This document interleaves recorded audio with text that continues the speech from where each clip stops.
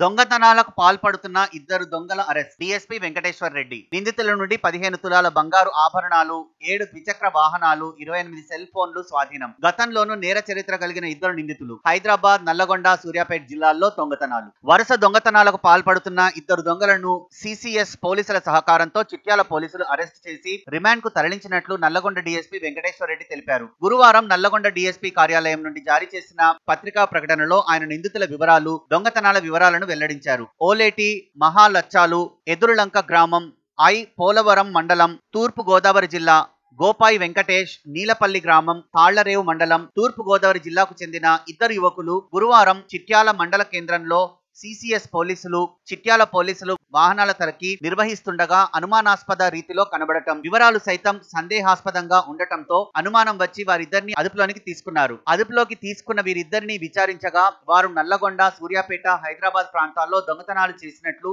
నిర్ధారణ అయిందని వివరించారు. నిందితుల నుండి పదిహేను తులాల బంగారు ఆభరణాలు ఏడు ద్విచక్ర వాహనాలు ఇరవై ఎనిమిది సెల్ ఫోన్లు సీజ్ చేసినట్లు తెలిపారు. వీరిపై గతంలోనూ పలు కేసులున్నాయని తెలిపారు. నిందితులు ఇప్పటి వరకు యాదాద్రి జిల్లా చౌటుప్పల్ నల్లగొండ జిల్లా ముత్యాల కట్టంగూరు నల్లగొండ టూ టౌన్ హైదరాబాద్లోని పేట్ బషీర్బాగ్ హయత్ నగర్ సూర్యాపేట జిల్లా చిబ్బేల్లా ప్రాంతాలలో దొంగతనాలకు పాల్పడినట్లు డీఎస్పీ వివరించారు. ఈ కేసులో CCS DSP Mogilayya CCS CI Balaswamy Narketpally CI Shankar Reddy Chityala SI Nagaraju CCS ASI Upender CCS సిబ్బంది ప్రభాకర్ విష్ణు కొండల్ గిరి కిరణ్ చిట్యాల పోలీస్ స్టేషన్ సిబ్బంది సైదులు శ్రీనివాస్ రెడ్డి సమర్థవంతంగా పనిచేశారని వారిని అభినందించారు. గంటల సమయంలో లాక్డౌన్లో భాగంగా చిట్యాల పోలీస్ స్టేషన్ పరిధిలో టాస్క్ మన సిసిఎస్ ఇన్స్పెక్టర్ గారు మరియు వాళ్ళ సిబ్బంది మరియు మా నార్కట్పల్లి సిఏ గారు చిట్యాల ఎస్ఐ గారు వాళ్ళ సిబ్బందితో కలిపి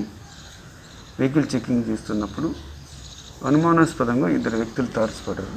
వాళ్ళని నిలిపి అడగ వాళ్ళ అనుమానాస్పద సమాధానం చెప్పగా వాళ్ళ వివరాలు ఓలేటి మహాలచ్చలరావు మరియు గోసాయి వెంకటేష్ అనే వాళ్ళ ఇల్లు నీలపల్లి గ్రామము తాళ్ళరేవు మండలం తూర్పుగోదావరి జిల్లా ఆంధ్రప్రదేశ్ అని చెప్తారు. వాళ్ళని చెక్ చేయగా అందాజ పదిహేను తులాలు బంగారు వస్తువులు ఏడు ద్విచక్ర వాహనాలు అంటే మోటార్ సైకిల్స్ ఇరవై ఎనిమిది సెల్ ఫోన్లు రికవర్ చేయడం జరిగిందండి. వీళ్ళు ఏడు పోలీస్ స్టేషన్ పరిధిలో దాదాపు ఇరవై అఫెన్సులు కమిట్ చేయడం కన్ఫెక్ట్ చేశారు వీళ్ళు. ఈ కూడా ముందు బంగారు వస్తువులు సెల్ ఫోన్లన్నీ రికవర్ చేసాం. చేసి మోటార్ సైకిల్స్ కూడా రికవర్ చేసి వాళ్ళని ఈరోజు కోర్టు పంపించడం జరుగుతుంది. ఏడు పోలీస్ స్టేషన్లు చౌటప్పల్ బాగ్.